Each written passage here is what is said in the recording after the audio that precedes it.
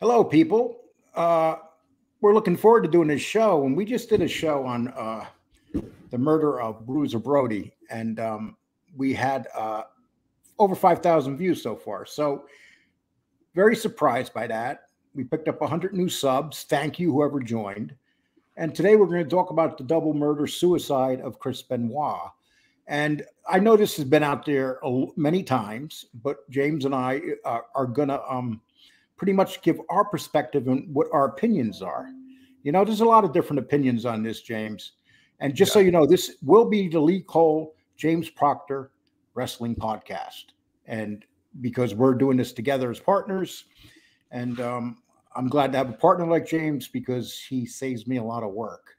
Hmm. James, how you doing, my man?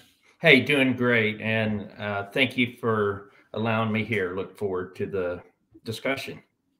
And and you know we we're doing this show not because we're trying to come in here as experts. We're trying to come in here to give our perspective, because this whole thing with Chris ben, uh, Benoit, would you say? Is, would, yeah, Benoit. Well, with Chris Benoit was uh, a tragic thing, but I always said it was his fault, no excuse. And then, James, I did a lot of research into it. Yeah. And I and and, and I kind of changed my mind on that, and I'm going to explain why. What do you think, James, about this whole thing with the murder or suicide? Well, I mean, you know, at the end of the day, you know, I believe a, a person is responsible for his or her decisions.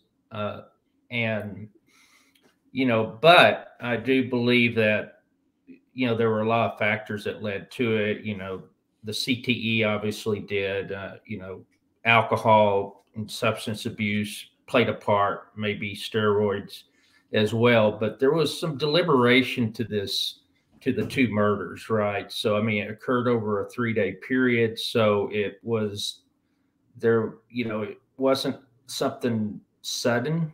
And right. So, so I kind of think that you know, I still have to lay the blame at um, Chris's feet on this. And we're going to talk about his brain, how damaged at death he had the brain of an 85 year old man. That's how much brain yeah. damage he had, uh, and from concussions. I mean, he was famous for coming off the ropes uh, with yep. his headbutt. I mean, yeah, that was his move right there, the headbutt. He would come down on his head continuously, and that was it. And you know, you got to give the, this guy was some he was somewhat of a underdog because he was a very small guy, James. Yeah. And and the fact that he got to the point of, of the size he did, of course, that had a lot to do with steroids. Right. Uh, but this whole thing started from the beginning. Uh, let's explain. Uh, this is what happened. No, uh, where did Chris Benoit start wrestling?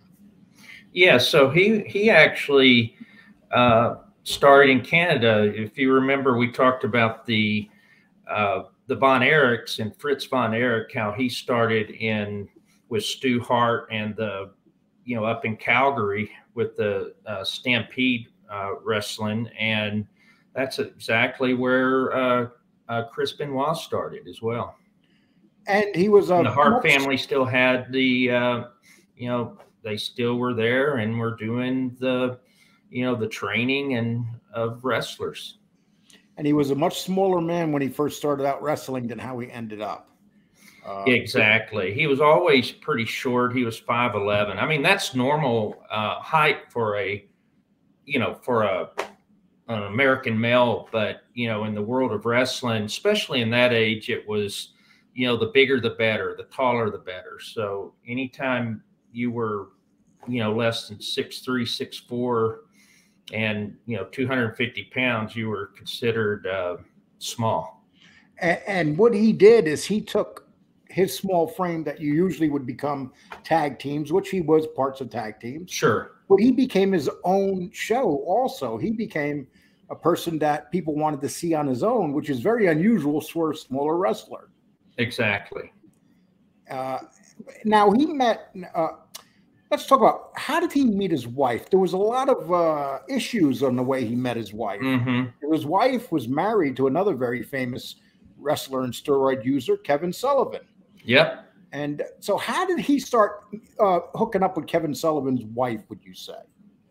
Yeah. So the wife's name was Nancy. She went by woman. She, you know, she had other she had other names as well. Fallen Angel, uh, several others. Devil Angel, Para, Robin Green. yeah, know, yeah, and she started in 1984. Just so people know. Now, I'm sorry to cut you off there. No, so that's fine. Okay. Yeah, so you know, she wrestled or she was uh, involved for you know 12, 13 years herself, and and so there was an angle with uh, Kevin Sullivan. So he was a promoter for WCW. This was probably around 1999 or so. And so uh, Chris was with the WCW actually for the second time. And so it was just a um, an angle. It was an angle wrestling angle where they would have a, an on-screen relationship, and you know, they showed them holding hands, uh, supposedly staying in the same hotel room, all of that. But then it ended up that this on-screen relationship actually, uh, you know, got consummated into a into an affair. So here they're having an affair. Mm-hmm. Uh, in the beginning, uh, Sullivan didn't expect it, and then he slowly nope. started suspecting it. And it seems like a lot of people knew about the affair before Kevin Sullivan. Yeah, you, you know, it, it, it was the gossip all around the arenas. Yeah. And uh, Kevin Sullivan didn't want to believe it. Right. So, what was his reaction when he found out? Well, yeah, I mean, he was he was definitely angry about it. Um, you know, my understanding is there were some arguments um, actually between the two that might have uh, actually actually got physical during a match or at the end of a match. And uh, the other thing I heard that was interesting, though, with uh, Kevin Sullivan, uh, at least, you know, the Tales from the Ring, Dark Side from the Ring, I mean, uh, they mentioned that there was some domestic abuse. So Kevin, I guess, was had been, um, you know, committing, uh, a, you know, what do you call it, battery or assault on his wife, and you know she left him and you know went with went to Chris. Yeah, and in the beginning, I guess her relationship was pretty solid with Chris Benoit. Mm-hmm. But, you know, and this was at this time he had just started taking steroids, where you could notice it, Chris Benoit. Right. Because he went from a small guy, all of a sudden he started bulking up and getting very big. Right. And uh, so she left. Uh, she she left Kevin Sullivan and she married Chris Benoit. Yeah. And uh, once she did that, her life was different. Uh, but she decided to leave wrestling. Right. And, uh, she and when she got married, she loved mm-hmm. wrestling and she um, wanted to start a family. Yeah. And take it from there, my man.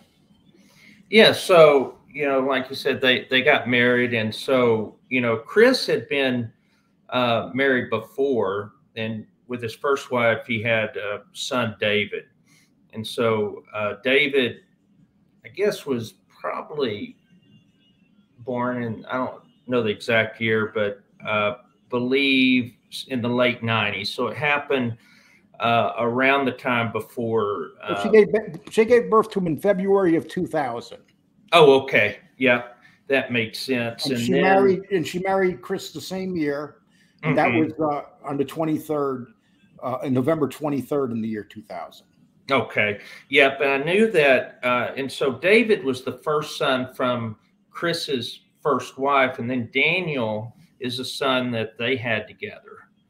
So that Chris and uh, Nancy had together. So Daniel was the the boy that was tragically, you know, killed by his father. And, and she was managing uh, her husband's career from mm-hmm. home. Yeah. And uh, she was pretty much a manager slash wife slash right. mother, but they mm-hmm. started having a lot of issues. Yeah. Uh, and, and a, a, lot of abusive issues. Yes. Uh, and what would you think uh, led to that?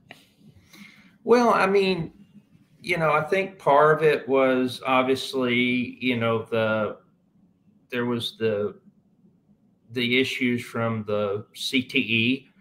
You know, one of the things about CTE, I know we'll probably go into more detail later. It's kind of difficult to you can't really diagnose it until a person has died.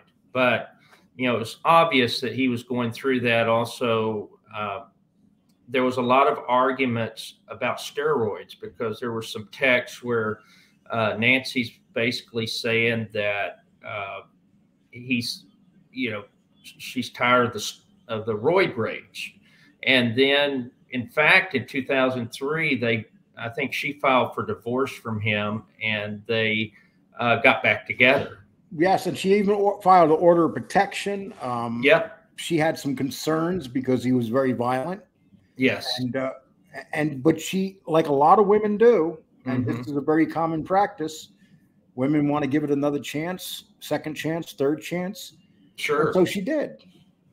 Yeah, she did, and it seemed like that if there was a catalyst on on what you know what may have caused some of this was the you know chris was best friends. He had two good friends and you know with the wcw at the time. And in fact uh, one was was eddie guerrero and eddie guerrero died in 2005 yes. And, and so you know he got you know chris was always this non-emotional type guy. You know, he had that persona in the ring and and personally, and he really took that death hard. You know, if if you remember, Eddie was found dead in his uh, hotel room.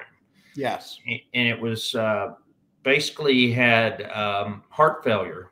You know, and so, it was did drugs have something to do with that? Yeah, he had a lot of of drug and specifically alcohol issues and you know he had you know tried to turn his life around know he was a, a strong christian as well i think uh, you'll see with chris that at the at the end you know they find they find bibles around the murder scene right. and everything and so uh, guerrero was definitely a a christian and had led um, Chris to to God, I guess. And, the problem being, you can lead someone to God, but if they're su- suffering concussions and if they're su- yeah. suffering steroid rage, we're talking so many things going on in the individual's life. Yes, and, exactly.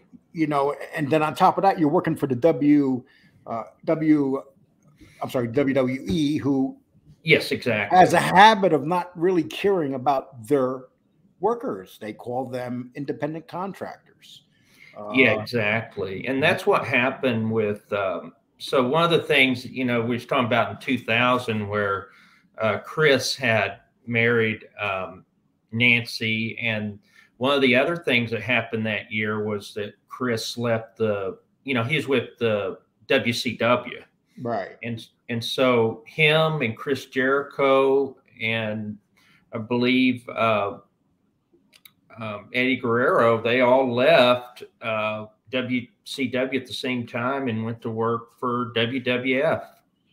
And to give you an idea how big this man started getting, look at him here. This is here, you know, he's starting, you know, he's still he's starting to get big there, but then look at this picture.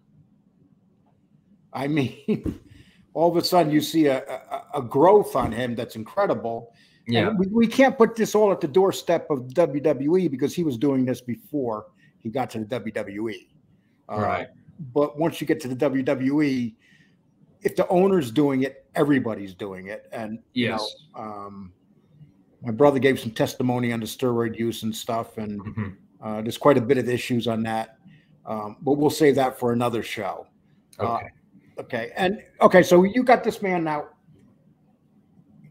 he's having all these rages. Yeah. He's terrorizing his wife. He's on the road all the time. Yeah. Uh, he gets home. He's exhausted.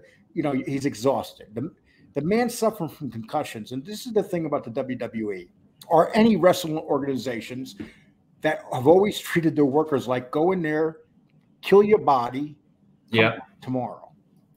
Mm-hmm. And so this is a man that would have concussions and never really get rid of them, would he? No, no, I mean they and that's that's part of this idea, you know, they're independent contractors and if they and you know the promoters have all the say. So one of the problems is if you call in sick, you might not ever get back in the ring. You know, they may just let you go. If, yeah, so, if you call in sick, that means you ruin a card. You yeah, exactly. a card that's been advertised for two months.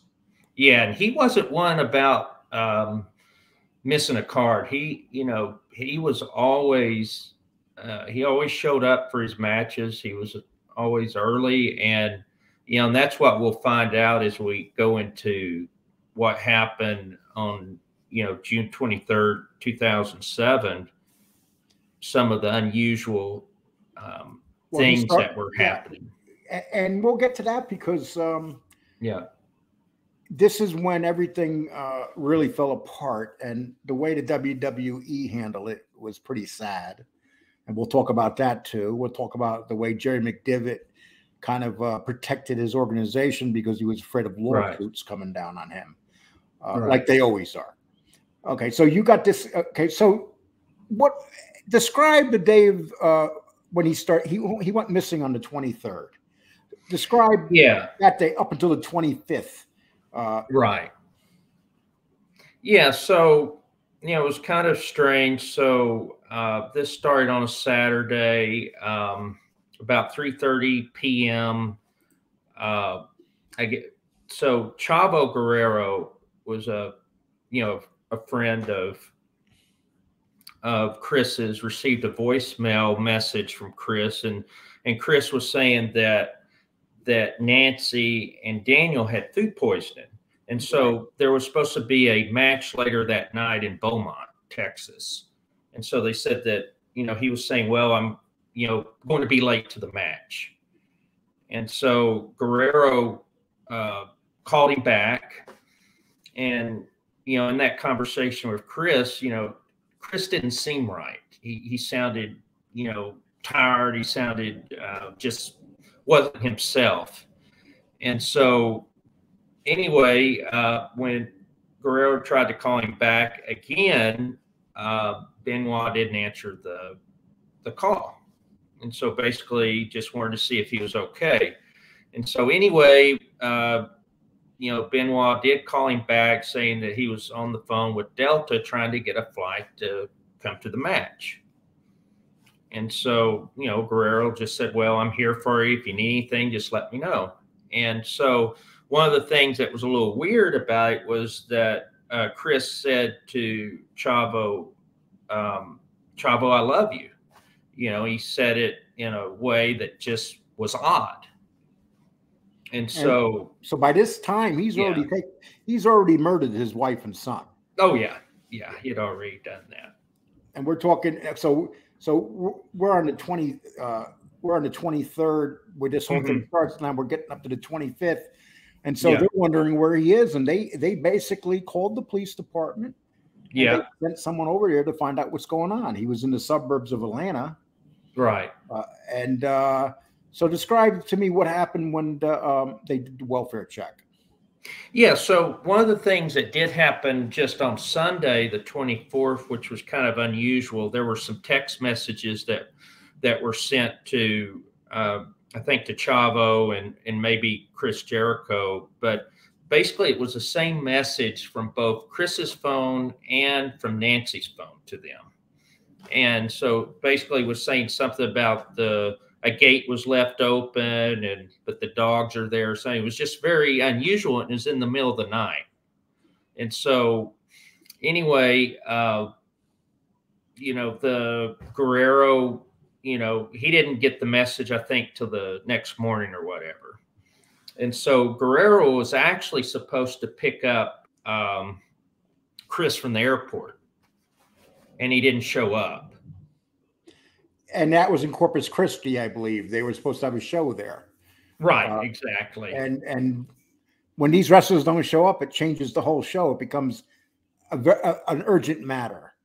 Uh, so right, exactly. But he actually on Sunday morning, and so this is where I'm I'm thinking that some of this was, you know, there was some planning involved in this murder because he actually called the WWE office. Um, saying his son was vomiting, you know, saying that he and his wife were at the hospital with him, and then said that he would take a later flight, uh, you know, to to come to the match, but you know, as we know, he failed to show up. So, you And- know, that was strange. And then uh, when they contact the Fayetteville, Georgia police, Mhm. uh, that's when they discovered the body. Uh, yeah. explain how the murder went. What what they were saying, what exactly what Chris Benoit did, and how how the murder went down.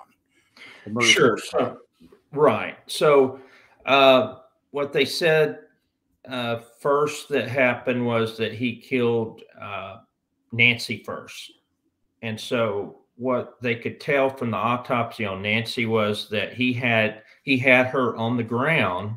He had his um, his knee in her back, and he wrapped a cord around her neck and strangled her, and, and may have actually broke her neck. I, I'm not for certain on that, but basically, it was a you know very painful uh, death, and so that was the first murder, and then later he his son Daniel he gives him Xanax, you know, saying like 100 milligrams of Xanax, which, you know, basically knocked him out. You know, the kid's seven years old or whatever, and, you know, gave him, you know, a, more than what's used for a, a full grown man.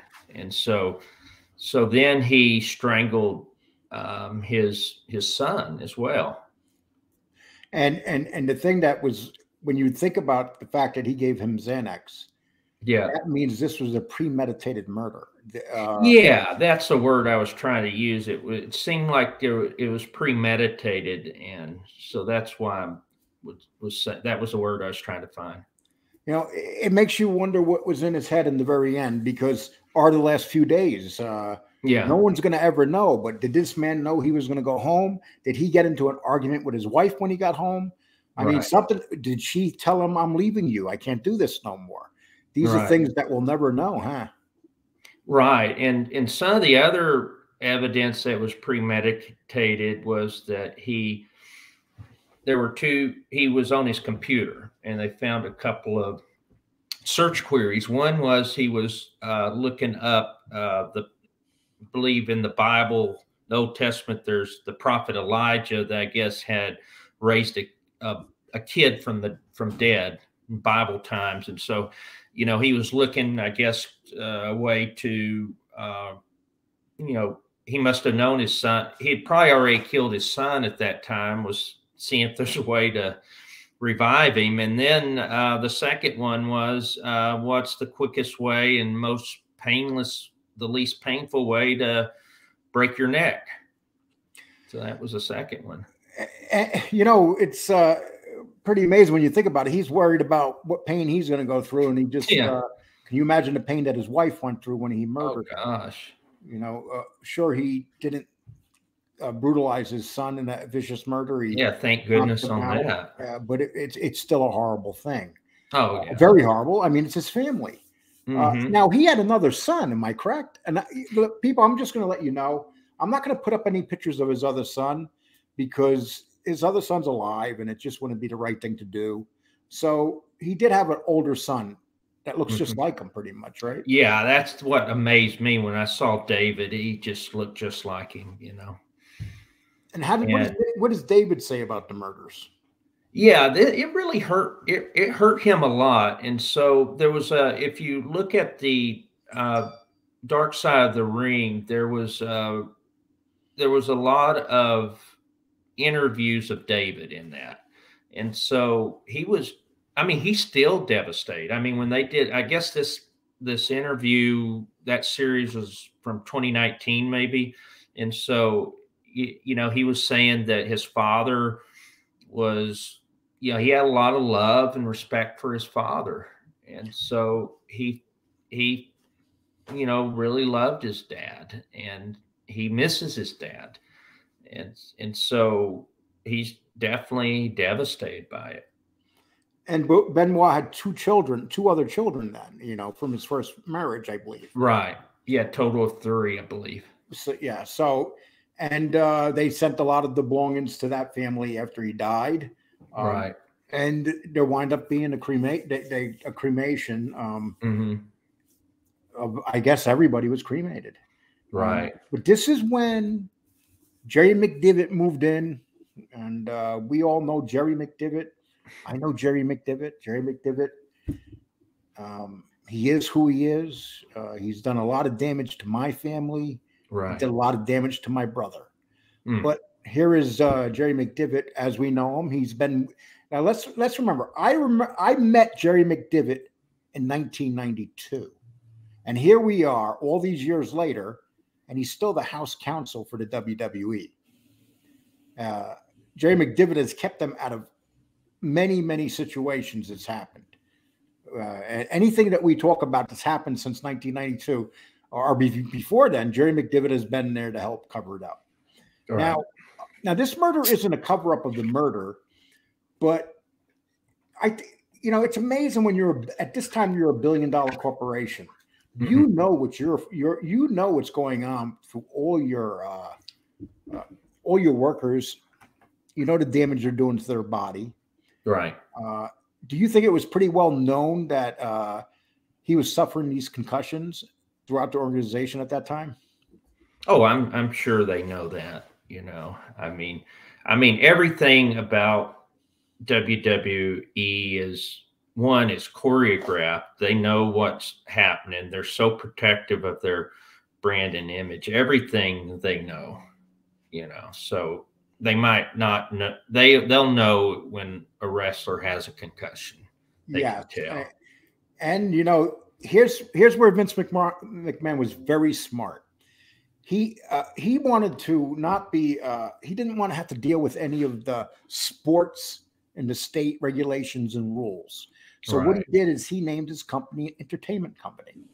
Right. and that stopped a lot of things that if he was if he if they stayed the w the wwf name was bought out and uh not bought out i'm sorry it was in a lawsuit they lost the first name Yeah. uh, and then they became the w, from the wwf to the wwe but he called it entertainment Mhm. and so a lot of people think everything is entertainment whether it's a murder that's real right. or situations like this. But the first thing Jerry McDevitt did after the murder was come out and say, well, it may have been caused some some medication he was taking from taking steroids, and he was uh, having he was missing a, a, a he had trouble with his uh, uh, well, how do you say best the testicular issue. Oh yeah, test yeah the te- low testosterone or whatever. Right. Need the testosterone replacement therapy or whatever. And that's basically the statement that was made by Jerry McDevitt. Uh, and then if anybody came up with any other things all over after that, Jerry McDevitt would say, well, you know, that can't be proven. Uh, we don't think that's it. But, you know, you have these workers in your in your corporation that are all suffering like this. Yeah. And to this day, there seems to be nothing being done about it, James. Mm-mm. No, in fact, um, you know there was law. There was a group of wrestlers. I think it's about a several dozen wrestlers filed a lawsuit against the WWE and actually Vince McMahon personally uh, for you know CTE, the concussions, and all of that. And you know the WWE was able to uh, prevail in the lawsuits by getting the case dismissed, and it was based on technicality of of the uh, statute of limitations had expired. And so they say it was too long in the past, too far along in the past. And so the there were lawsuits. They even tried to appeal it. The appeal went against the wrestlers, and Supreme Court said, "Hey, we're not going to hear the case." And especially when you have your wife who's a politician, Mhm. uh, she's even in the cabinet, in Trump's cabinet at one time. Yep. I mean, people underestimate the power of Vince McMahon. Uh, Right. we never did. Me, my, my family never did. Uh, Right. but the, the fact of the matter is that Vince McMahon's a very powerful man with an exceptionally good lawyer.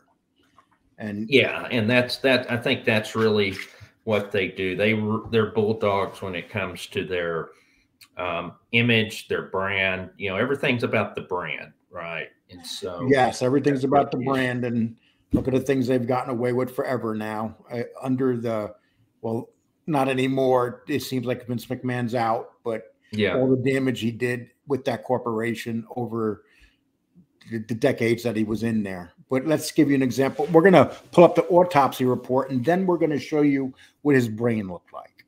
Yeah. Okay, and and to give you an idea, well, here's the autopsy report right here. Okay, add to stream. Okay.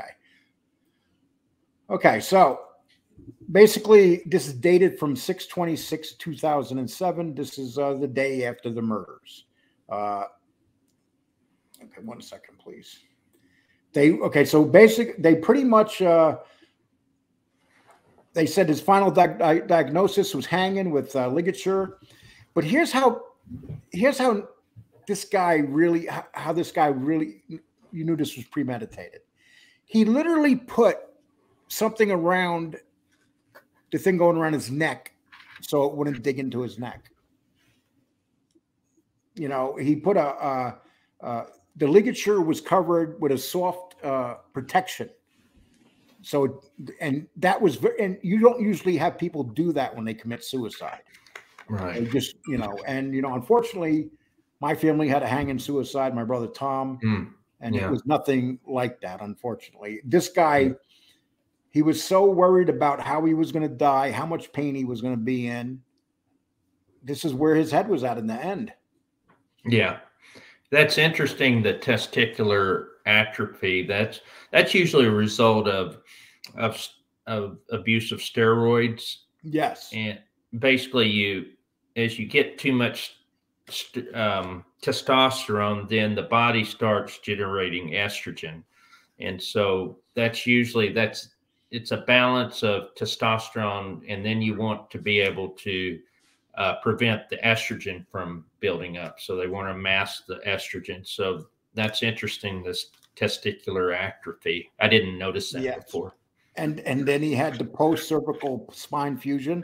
All these wrestlers have spine fusion, neck Mm-hmm. Oh, yeah. It's part of the game, and they Yeah. considered it suicide, self hang, and uh, the body was well developed, well nourished, five foot 11, 224, white skin. Appearance is consistent with that of given of an age of a 40 year old man. The scalp Mm-hmm. hair is fine, up to three inches with frontal baldness. There is a quarter inch uh, between the butt mustache and the beard. The eyes had uh, blue irids, common Camillas. I'm sorry, I'm not a doctor. Yeah, that, that's basically the cornea and the iris were blue and was which is common with hanging.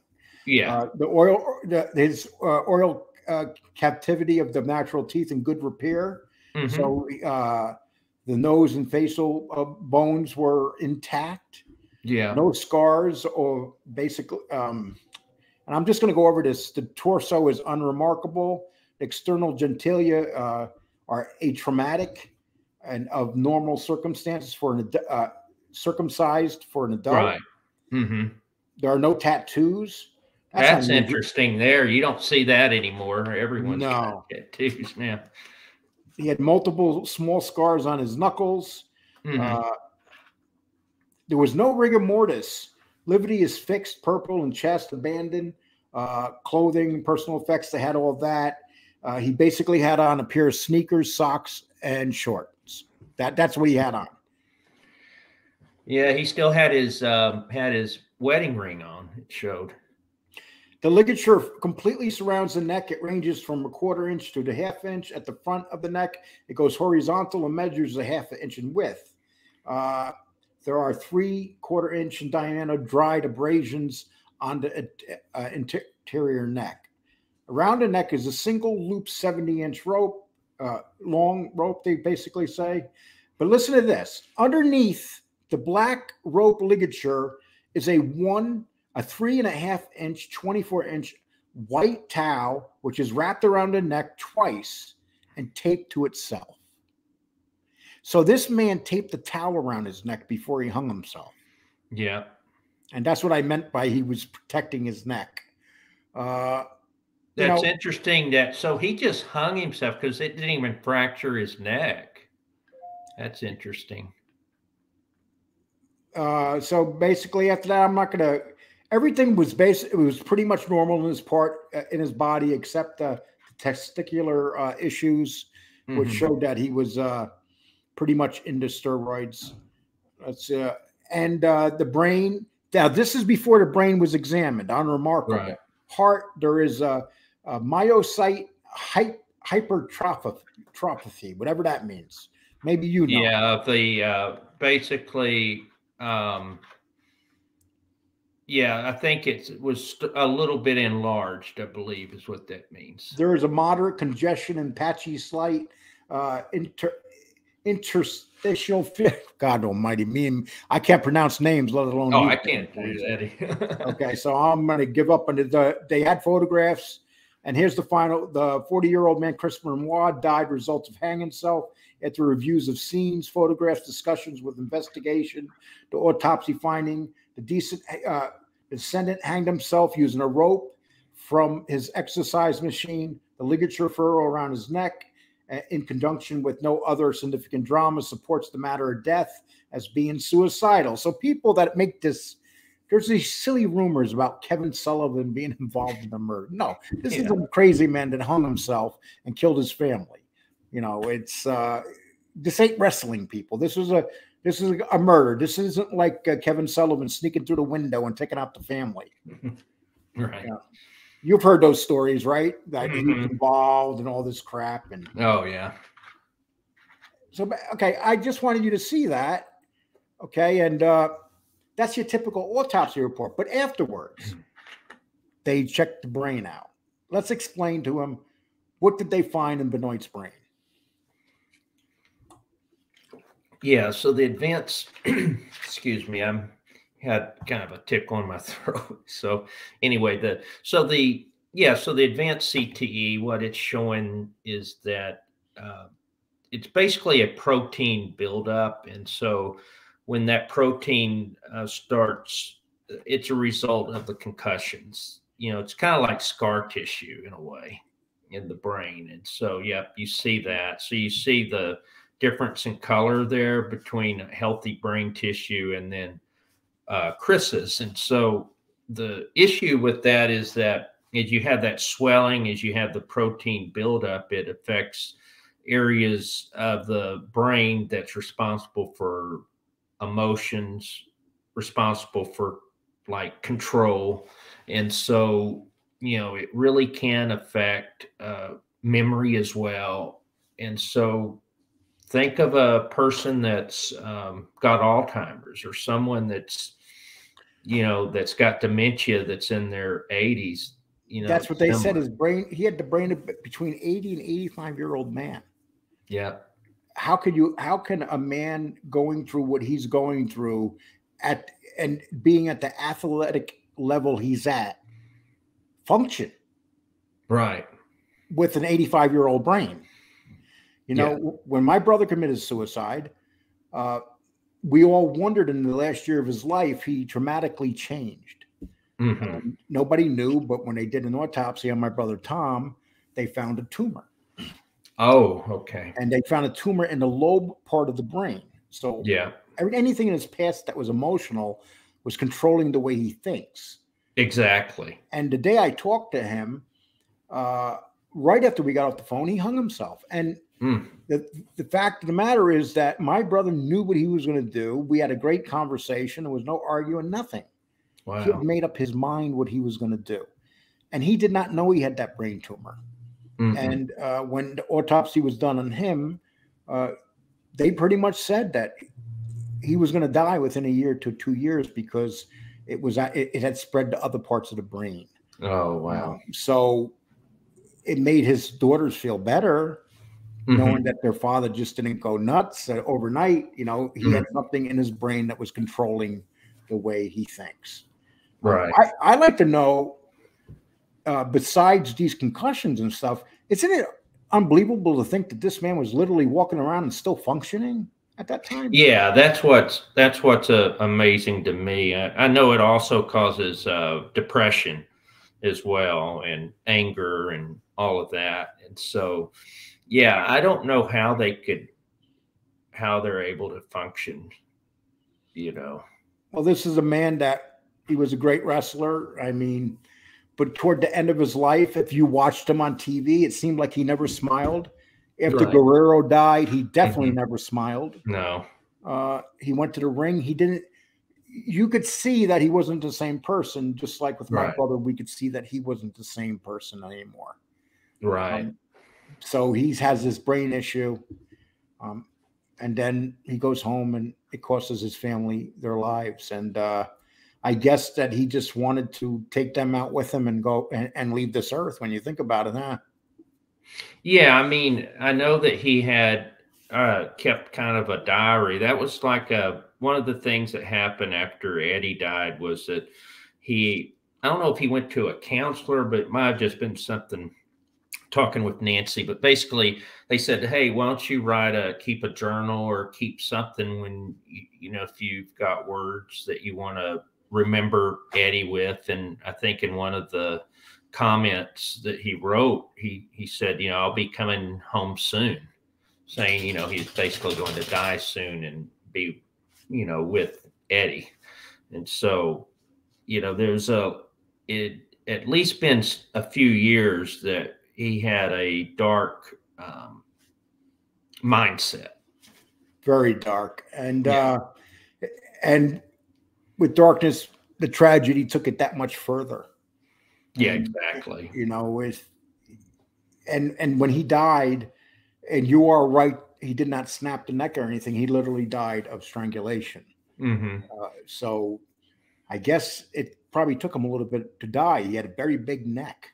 Yeah, uh, so he made that you know he that effort to kill himself by choking himself to death.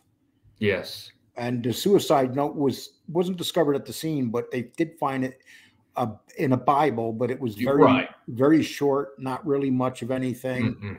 and uh, it, it didn't really explain why he was killing them, did it?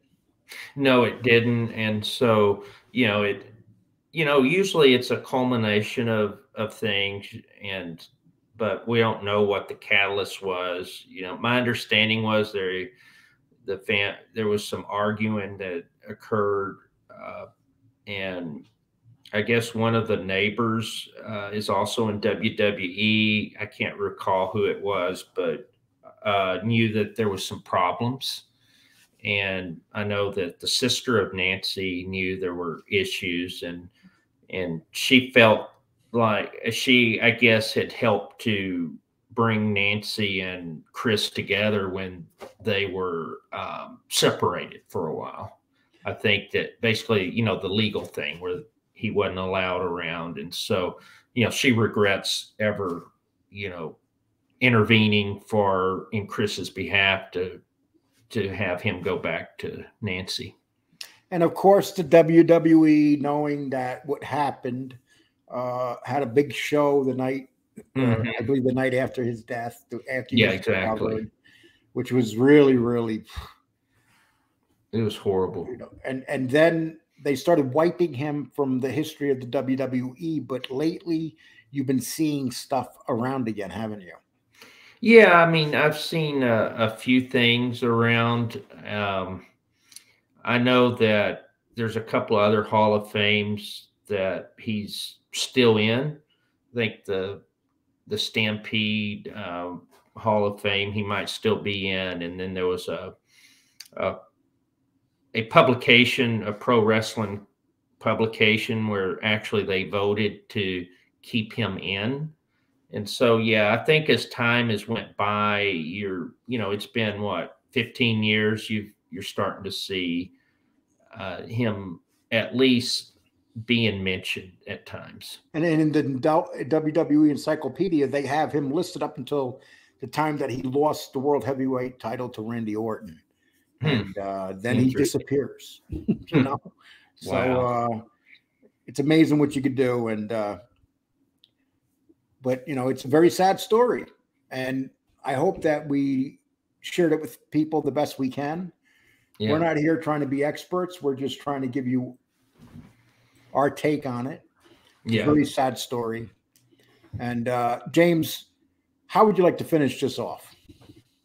No, I mean it was it was definitely a tragedy. I I just I think that the there's a core issue with WWE when we talk about wrestling with the devil. When I think of devil, I think of Vince McMahon and WWE. To be honest, I I really think that we need to have a a union. Every time there's been a union uh, effort, those people have been blackballed and let go.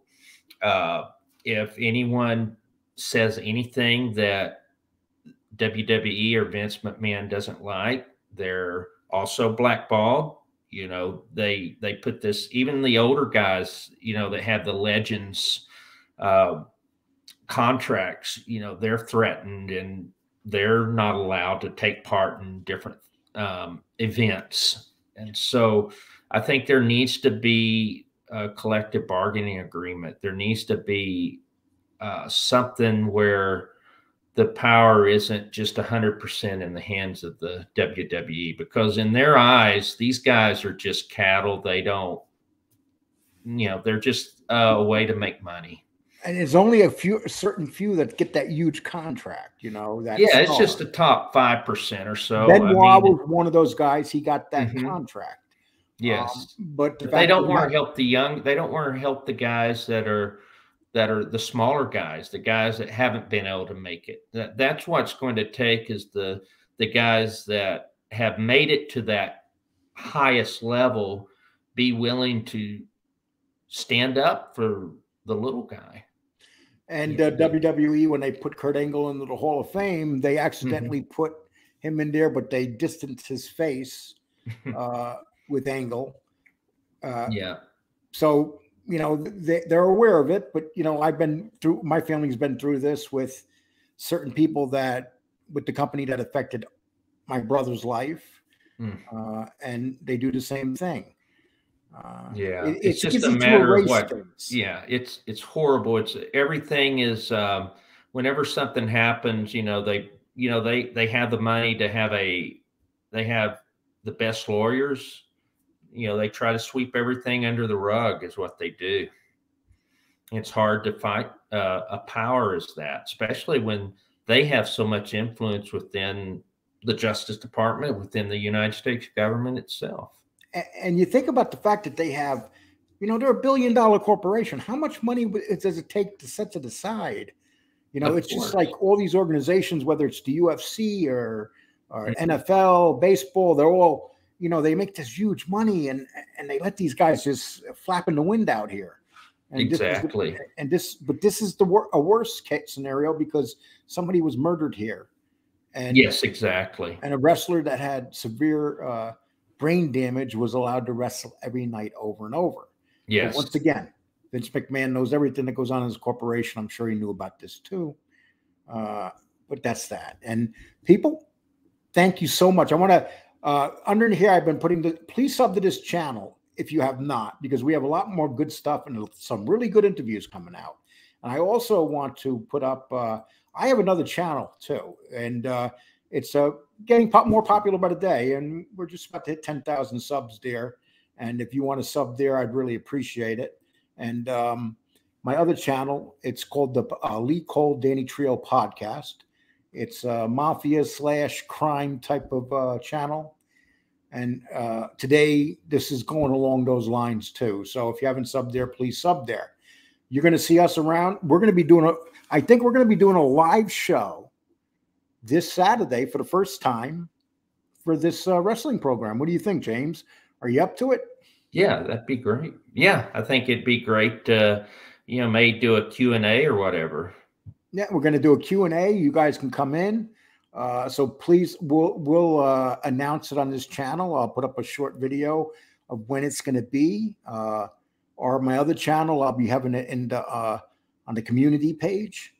Um, so we're really looking forward to doing that. You know, a live will be fun. We I did a live recently on uh, talking to a lot of people about about wrestling on Angel Gotti's channel and it was amazing to me james how many people were in the chat asking questions about wrestling uh, it was like a q&a yes. for an hour there hmm.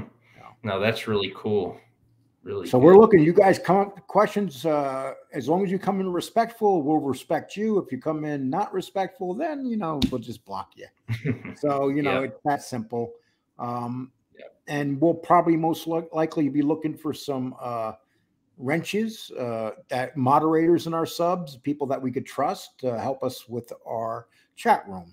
So if you're interested, uh, let us know.